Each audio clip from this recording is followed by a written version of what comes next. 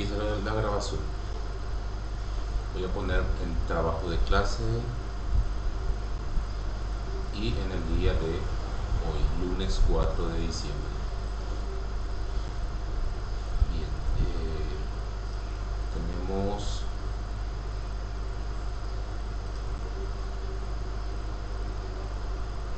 dos contenidos. O sea, un contenido, texto de la clase, el texto de la clase y la diapositiva de la clase como siempre. El texto de la clase tenemos aquí el texto, que es un texto breve.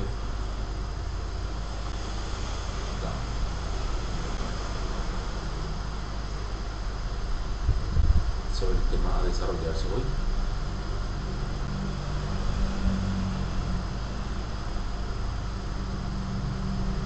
Y le falta una negrita a este.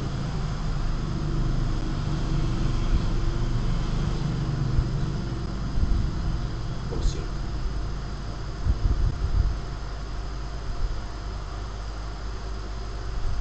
Y la diapositiva de la clase. Nos vamos ya a la diapositiva.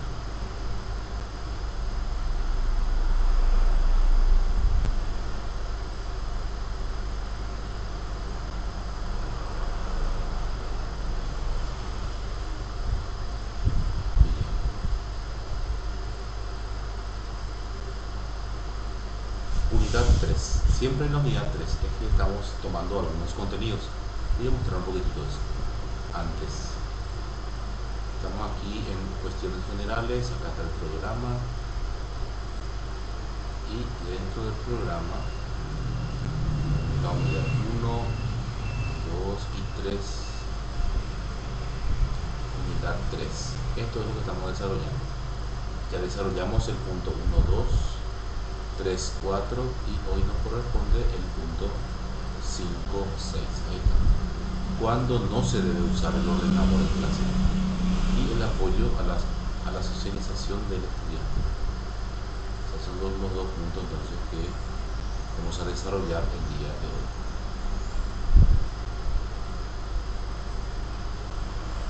Por eso tenemos aquí, cuando no se debe usar el ordenador en clase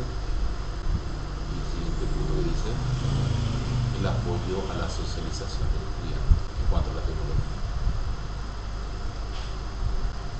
Bien.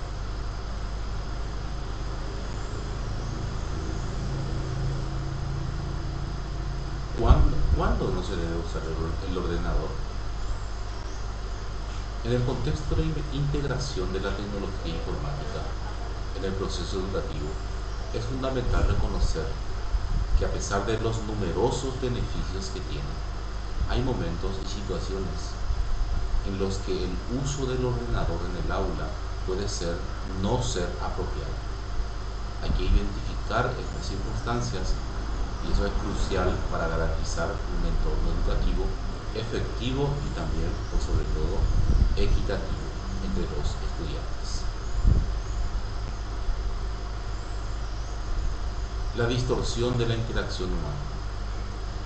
No se debe usar la computadora si disminuye la interacción entre estudiantes y profesores cuando no se comunican entre ellos y puro tecnología, cada uno en su mundo aislado.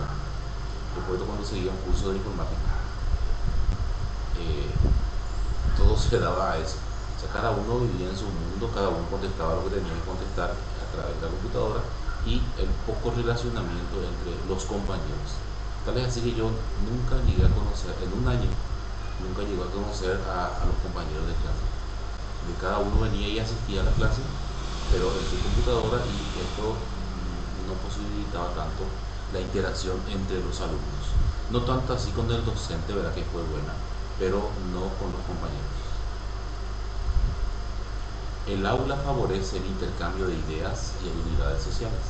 La tecnología no debe ser una barrera para la comunicación y colaboración entre los participantes. Eso no hay que olvidar. La falta de recursos también puede ser un problema.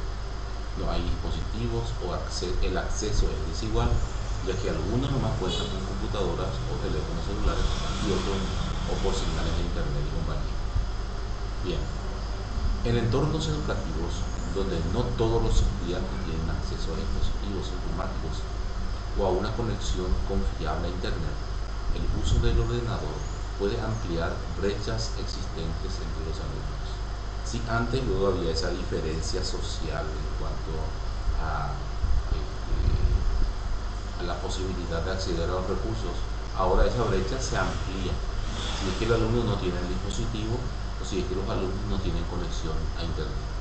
Es preferible entonces optar por métodos de enseñanza que no dependan de la tecnología o garantizar que se proporcionen alternativas accesibles para todos los estudiantes. Desconexión con el contenido curricular. También suele pasar. El ordenador no debe utilizarse de manera indiscriminada si no está alineado con los objetivos del aprendizaje. Todo debe estar acorde a los contenidos y a los objetivos del aprendizaje. Si esto no ocurre, entonces se pierde esa conexión y también el rol de la tecnología como mediador del aprendizaje. La tecnología debe ser una herramienta complementaria y no un sustituto del proceso educativo tradicional. Cuando el uso del ordenador no contribuye significativamente a los objetivos educativos, su incorporación puede resultar contraproducente. En vez de ayudar, va a aislar, separar y ampliar esa brecha tecnológica y digital. Distracción y falta de foco.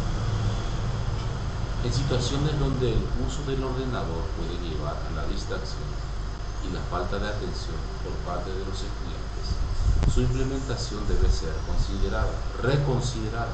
O sea, utilizamos o no, si es que va a ser una distracción para el alumno. Este problema surge mucho en la educación media, cuando uno le da la posibilidad de utilizar su teléfono celular para las clases.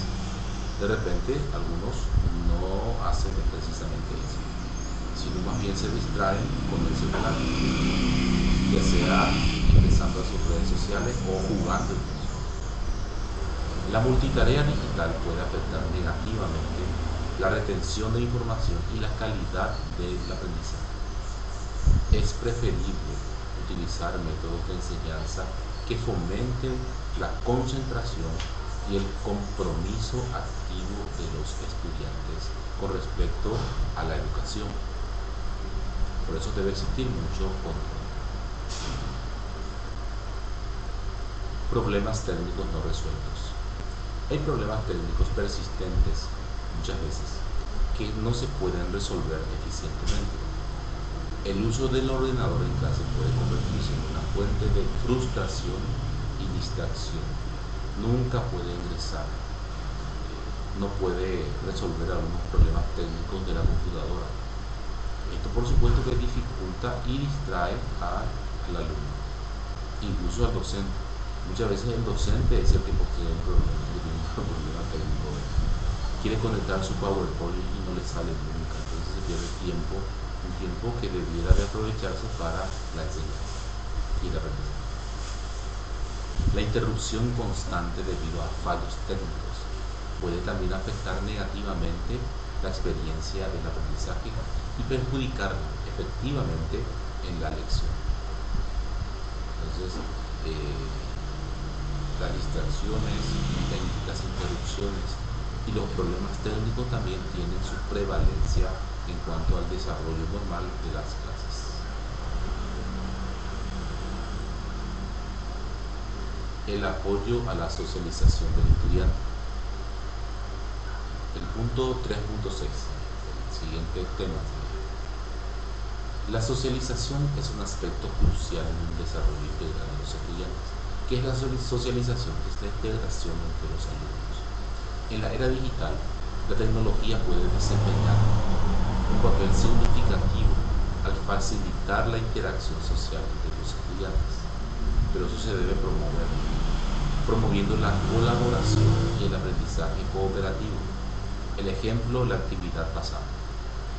Sin embargo, es fundamental comprender cuándo y cómo utilizar la tecnología para respaldar la socialización estudiantil de manera efectiva. No es que se dice, bueno, a socializar a través de la tecnología, no. Se deben crear actividades de socialización. De lo contrario, esto es contraproducente, como ya se decía. En vez de socializar, uno se aísla. Fomento de la colaboración en línea.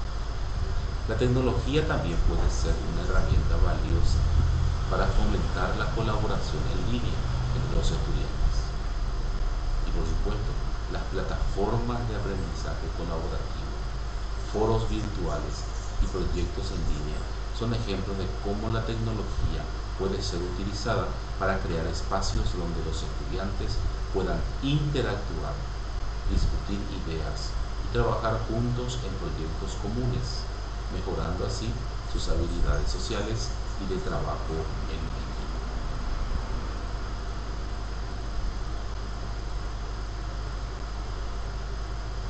El uso de las redes sociales. Las redes sociales educativas pueden ser una manera efectiva de utilizar la tecnología para la socialización estudiantil.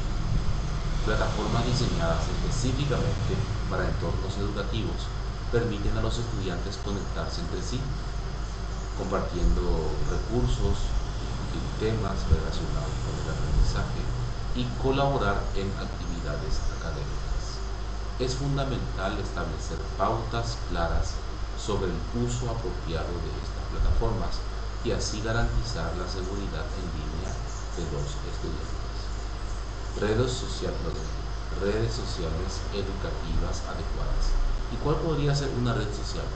Pueden ser los foros, se crea una actividad de foros y, se comenta sobre un tema y se, puntúa con respecto a eh, el comentario que uno hace sobre la idea de otro, apoyando o refutando, pero siempre argumentando ese tema.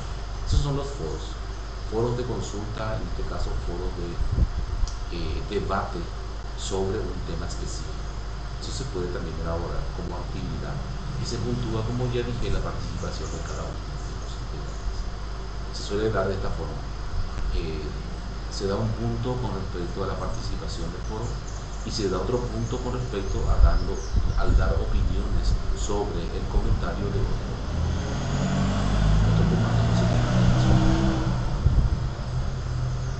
Entornos virtuales de aprendizaje.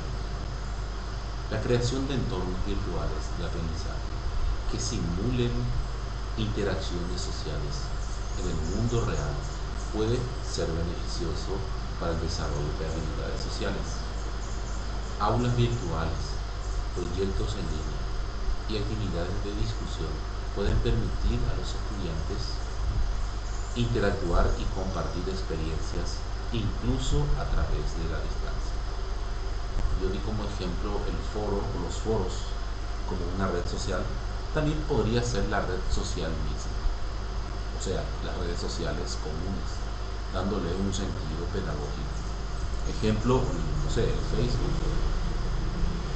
Uno publica algo y en la clase, la clase que está conectada en el sentido de, a ver, si todos son,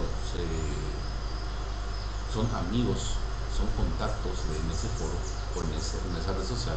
Entonces, se puntúa justamente en la interacción social, ya sea a través de debates o contando experiencias, como dice ahí, o dando opiniones sobre un tema específico.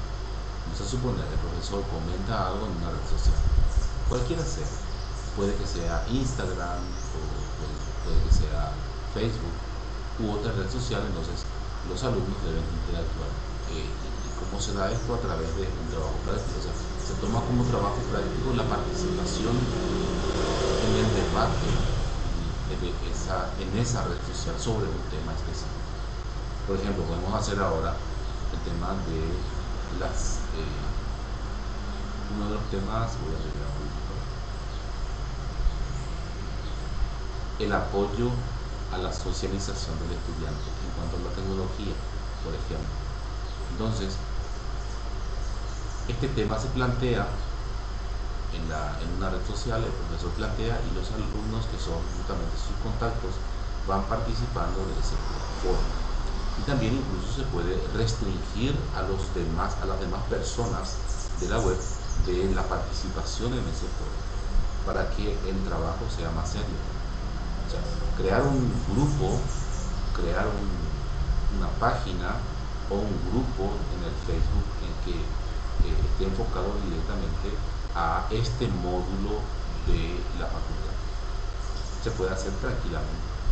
Incluso, de hecho, que las instituciones tienen sus páginas oficiales en las redes sociales. Todas, o la mayoría seguramente, tienen sus eh, como ya dije, sus páginas oficiales en las redes sociales, ya sean en Instagram, ya sea en Facebook, y pareciera ser un poco eh, superficial, ¿verdad? Pero en realidad eh, a través de Facebook se suelen realizar seminarios, charlas, ponencias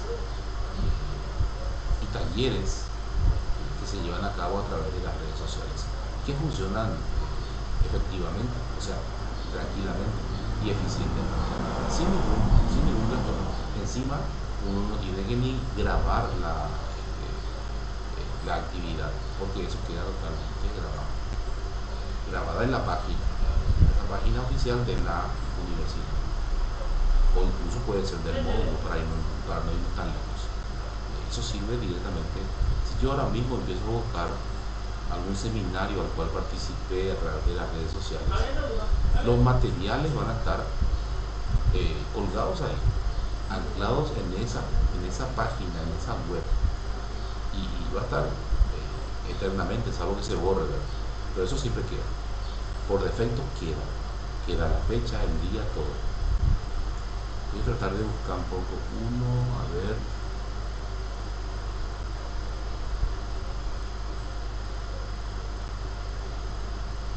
voy a entrar en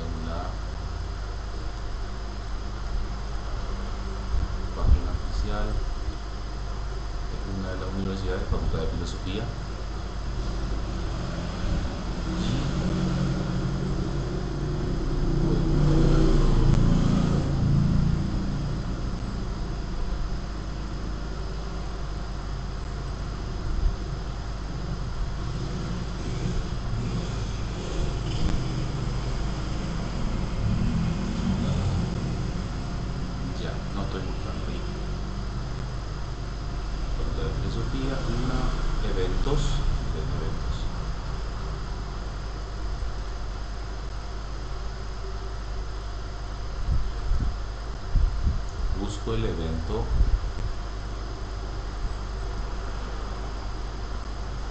Aquí voy encontrar todos los eventos realizados. Taller virtual de herramientas de control ciudadano construcciones sobre violencia de género mapas del amor y eso tiene psicología a ver el acceso a la, información pública muy interesante. Del 2020 webinar, o sea, la webinar es un seminario vía web. La prevención de, no sé, seguramente violencia. Seminario internacional, el seminario internacional del Guadalupe. O sea, no es solamente a nivel local ni nacional, sino a nivel, a nivel internacional. 2020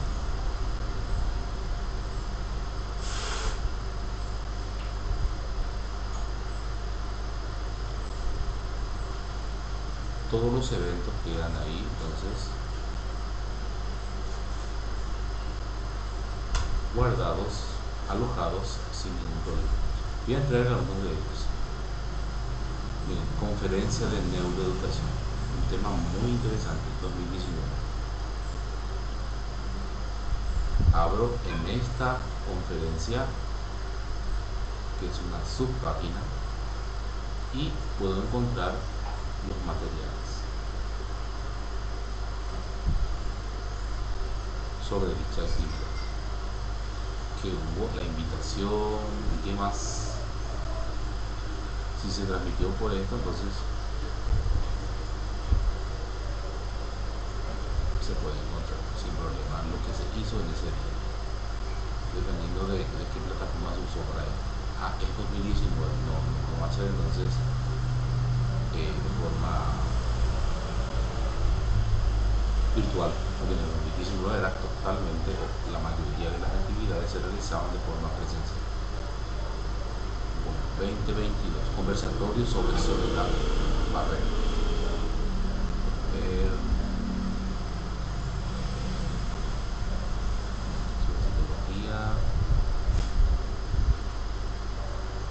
2021. A ver.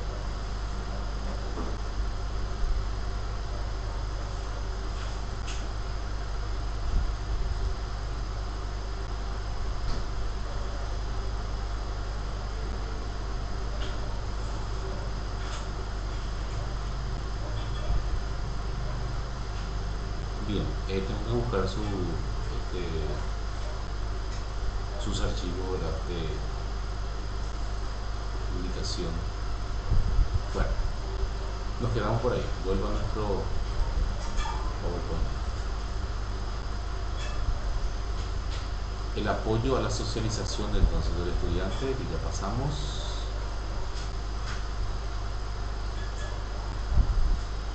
Tema 4.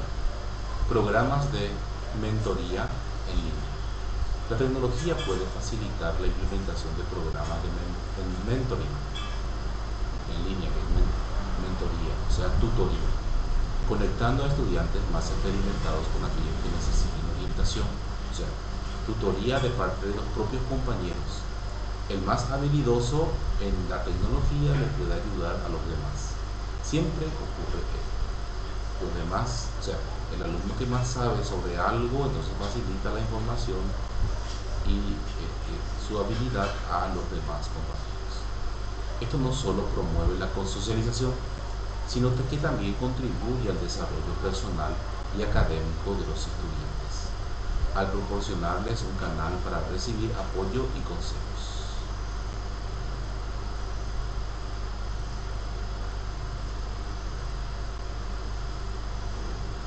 Sensibilización sobre el uso ético de la tecnología. Y viene el aspecto ético. Esto con respecto a las distracciones aquí muestran la imagen.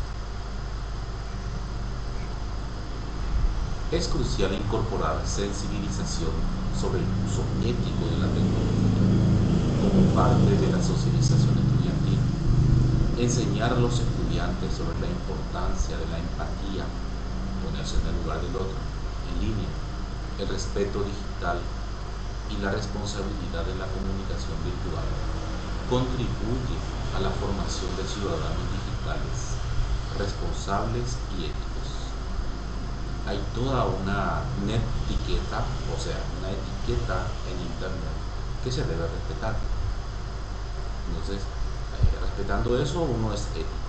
Son reglas, son valores que se deben aplicar en el momento de interactuar de modo digital. Conclusión. La tecnología informática ayuda en la enseñanza, no podemos discutir ello pero debemos usarla correctamente. Reconozcamos también cuándo no es beneficiosa y usemos estrategias pedagógicas que se ajusten a los estudiantes, de acuerdo a la realidad. No se le puede exigir a un estudiante algo que no va a poder dar. Y debemos exigir a los estudiantes algo que nosotros le dimos o que tienen esas herramientas ya como habilidad creada. Ejemplo, yo vez pasada preguntaba sobre el tema del PowerPoint que suelen usar y me decían, sí, profe, aprendimos con tal profe. Y eso fue ya evidentemente un conocimiento previo muy válido, muy válido, en serio. Entonces, ya previamente ustedes manejaban esa, esa habilidad de poder crear diapositivas sin problemas nada más vamos a afianzar eso. Mañana posiblemente hablemos de ello. Entonces, yo no puedo exigirles a ustedes entrar, bueno, háganme un PowerPoint sin saber que ustedes sepan hacerlo. Y si no saben hacer, entonces mostrar cómo se puede realizar. O cualquier tipo de herramienta o tecnología. así los preparamos, así los prepararemos para participar en la sociedad digital y global. Digital en cuanto al uso de la tecnología y global porque estamos conectados con el mundo. Todo lo que ustedes publican, el mundo lo puede tomar o el mundo lo puede ver porque se vuelve público. Si vos publicas un video, va a salir en todo el mundo, salvo China, ¿verdad? No en iglesia. O sea, vos podés ver eso en todo el mundo. Y todo el mundo, y vos podés ver lo que se publica. Un ejemplo nada más es el YouTube. Pueden ser otras otras redes sociales. Se considera también YouTube como una red social. Bien. Y también se considera a YouTube como una nube informática, o sea, donde uno guarda contenidos. En este caso, videos.